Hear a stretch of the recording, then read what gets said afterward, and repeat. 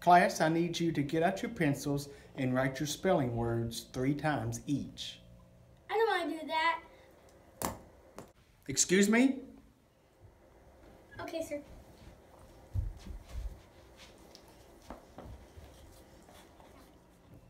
Class, I need you to get out your pencils and write your spelling words three times each.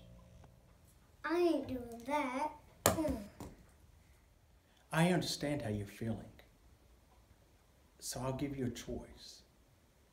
You can either write the words three times each, or you can write the words one time using chalk.